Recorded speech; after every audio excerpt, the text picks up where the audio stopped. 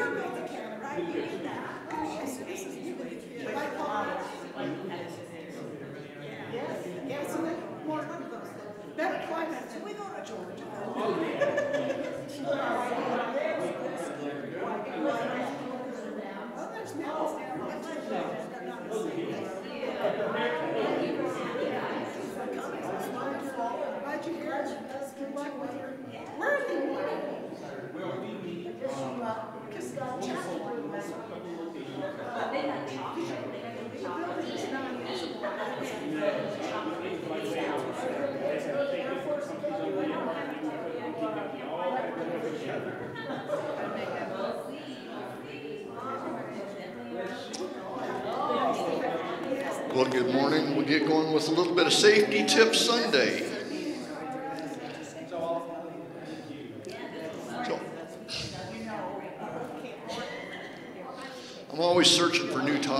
And uh, hopefully I give some good entertaining ones, but I'm starting to run out. So you guys, if you have an idea, let me know.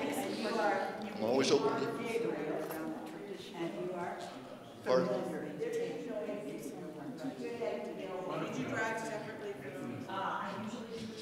It's settling down.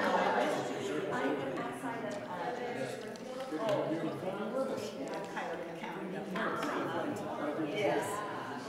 I spoke with your boys a little bit. I have three boys, but they're in the fifties, they're older than I But we're glad to have you with us. Thank you. Take care, and thank you so much. Welcome. Welcome, guys.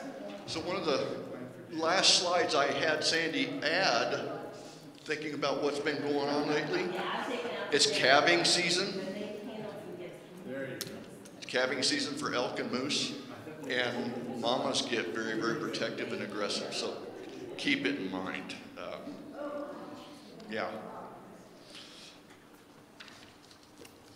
Yeah, actually, I saw a video on news of a mama moose chasing a grizzly bear that had gotten one of her calves and was going after the other one. And uh, so if a mama can chase off a grizzly bear, you know it's pretty serious business. So let's not tempt them. So then on to bears, which we all know we got a lot of those. Sandy put together some cute slides. Go ahead. If it's brown, lie down. If it's black, fight back. But fortunately, we don't have grizzlies here, so we just have the black bears. Make yourself, yeah. If it's white, good, right? I like that. Yeah. So luckily, we don't have any uh, polar bears.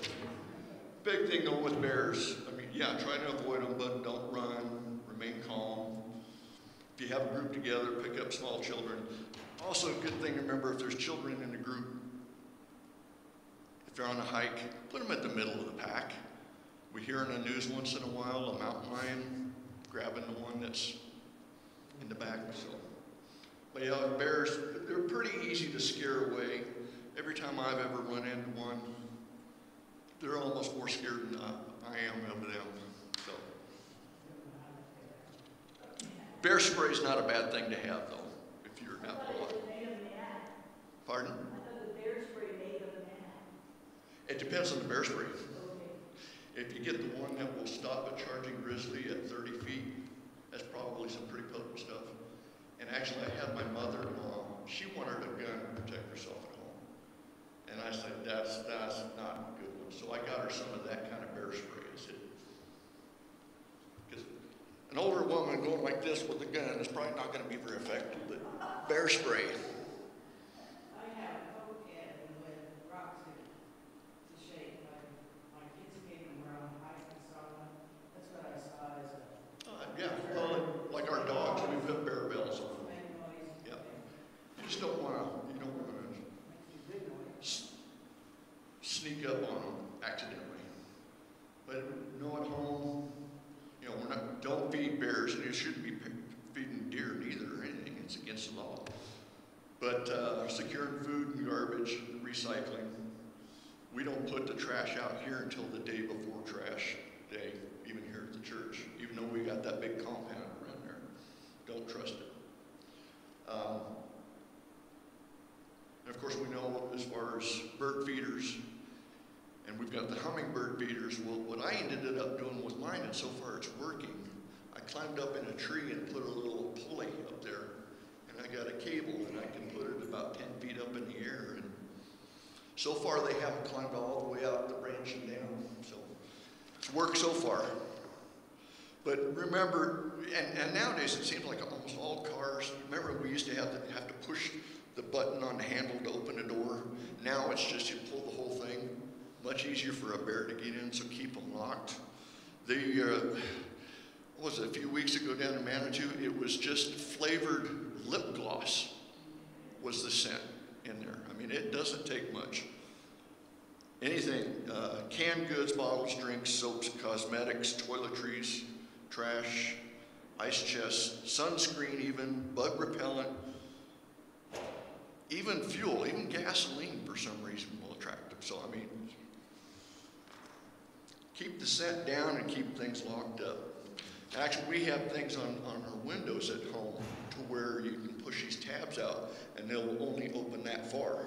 We used to have regular windows and I was always worried about keeping them open overnight because the bear, at least with these, will stop them. So.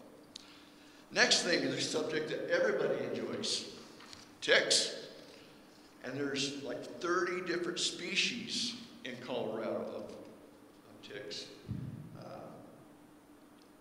most common is the uh, Rocky Mountain wood tick and the American dog tick. And of course, starting in the spring through the summer, all through this area, there are a few things that you can do to uh, keep them off you. Uh, permethrin treated clothing or gaiters. It's an insecticide that can be safely applied to your clothing or outdoor gears, but never applied to the skin.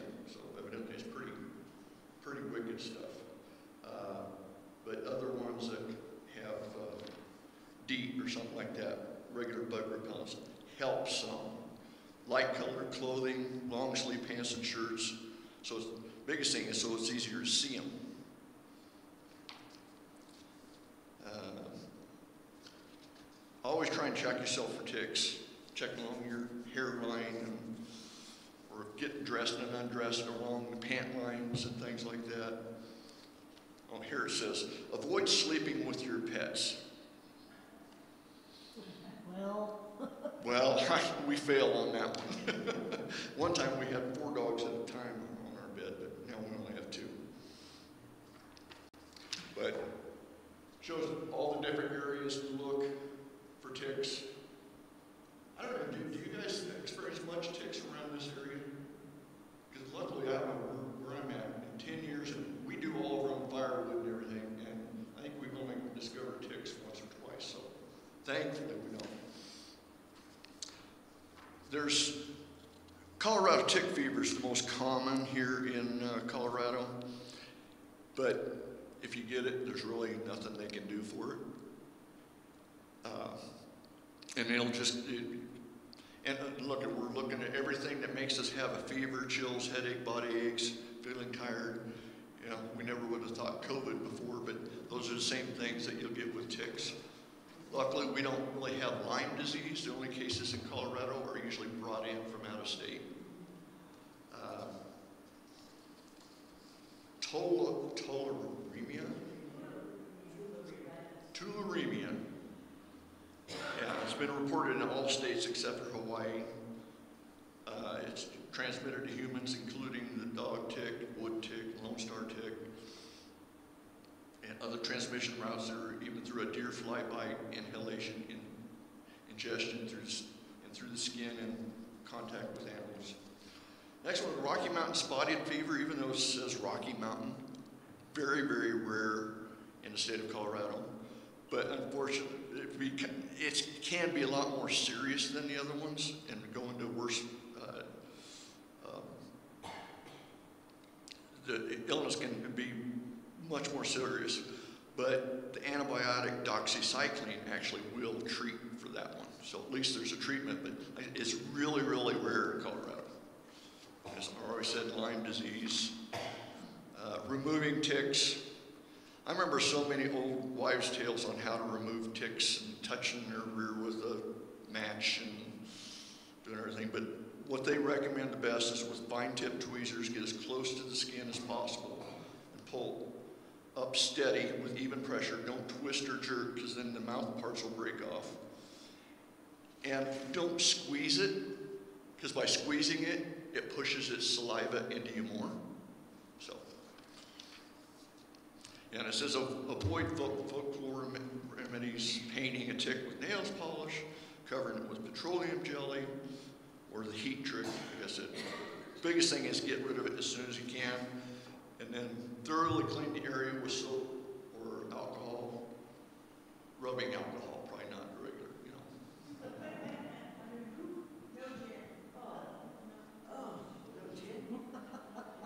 Yeah, that's, you know, that's abuse of alcohol. But anyway, and, of what kind it is, you can save it and there's a ways that you can send it off to get it tested and everything. But biggest thing is if you do get a tick and remove it, and you get a rash or a fever, you want to see your doctor. They, they have what they call, what is it? It's a, uh, like a piggyback fever. You get a fever and all of a sudden it's over and oh, here it comes again. And that's kind of a symptom of having the uh, Colorado tick fever. So if you have that, it's probably a good idea to follow up with your doctor. Let them know when, how long ago it was. So, another big danger we have this year, we know so much about, is thunderstorms, lightning, hail. Didn't cause a death and injury from weather-related incidents. Even Lee Trevino had a problem with that, but he never died from it. What was it? Got to clean up a joke of his. He had been hit a few times, of course, when playing golf, and he was doing his own yard one day out there mowing, and some lady stopped by and saw this Hispanic-looking man doing yard work and wanted to know, you know, how much he gets paid for that. And he says, "Well, lady lives here lets me sleep with her." Thought that was cute. So anyway, thunderstorms, of course, we know powerful winds. You'll have a gust front out in front of them. So it's weird. Sometimes you think winds usually come from the west, but if you got a storm over here, the gust front will go out from all sides. It's one of the jobs I had when working for the National Center for Atmospheric Research, flying in airplanes trying to catch a tornado as it came out. And got a lot closer than I wanted to. And you're doing that flying 500 feet off the deck. So, you know, you had the downturns and everything, and that was intimidating. Tornadoes in the mountains, never heard about them as a kid, but we get them over in South Park all the time. They fall along the reservoirs and they go up that track right up to uh, Lake George. Actually, we had, had them on my side of, I'm on the other side of 39 Mile Mountain, and had them damage trees in our area on my property and about a half mile away. But the thing nice when I worked for, for NCAR was I was with the lead scientist in the world for this region. And he said, west of I-25, there's never been a supercell tornado. Even though these little ones, if they hit you directly, yeah, it's a bad news, but at least it's not the widespread. And, you know, they always say, oh, lay down in a ditch or something like that. Well, we would do after the event, uh, research on what kind of damage it did, those supercell ones would pull up blacktop pavement from highways. So I don't think laying in a ditch with one of those. So I just decided not to uh, settle in the Midwest. Uh, with thunderstorms, you know, you definitely want to go indoors, move from indoors or into a building or in a car. Don't use landline phones. Unpl- unplug appliances if you can. Another interesting, if lightning's going on, don't take a shower because it can follow your plumbing if it hits your house. So, and you know, with the appliances, my grandfather got knocked over backwards by it came down through his TV and a ball of fire came across the living room and knocked him over in his chair. So, best just to turn everything off and unplug it if you can. And I'm really bad about this when there's a lightning storm in it, you know, it's rumbling over there. And it's, well, lightning can travel up to 10 to 12 miles from the thunderstorm. And uh, I always thought the rule of thumb for how far away you count the seconds, you know, one second, two second. It actually takes five seconds for that sound to travel a full mile. So if you're hearing it within the report within one or two seconds, that's really close. And of course, living up here, there's a lot of times, as soon as you see it, you see it and hear it at the same time. That's not a good thing.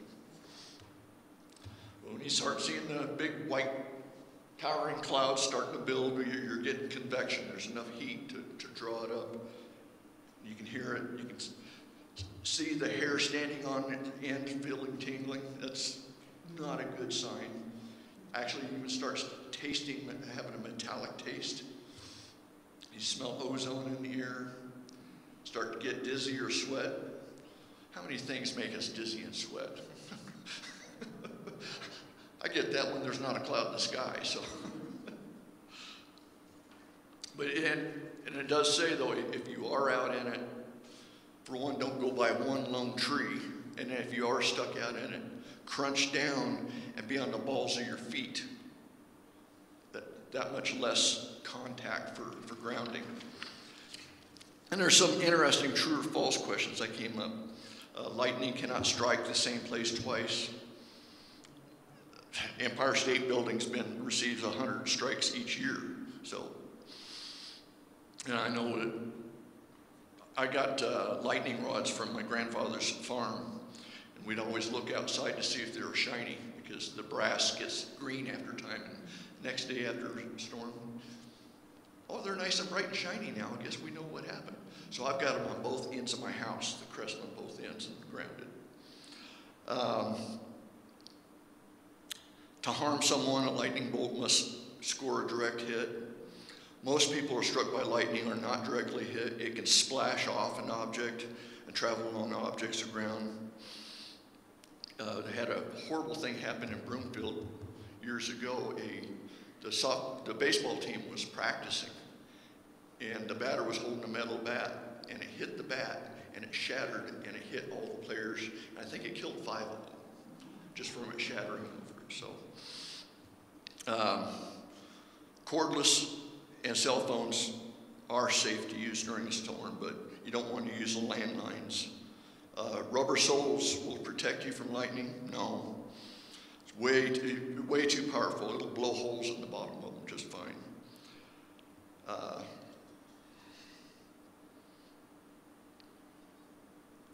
lightning can happen almost anywhere on Earth and on other planets.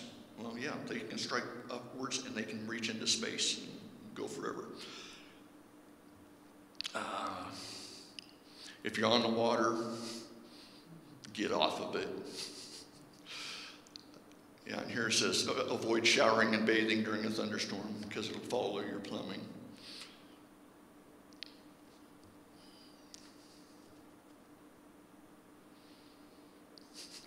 I do like how they say, they mention how I told you if you get caught out to crouch down and balls of your feet. And it says, uh, put your hands over your ears and the head between your knees. We used, and the balls of your feet. But putting your head between your knees, we used to use a, we would further that one on kissing something goodbye. But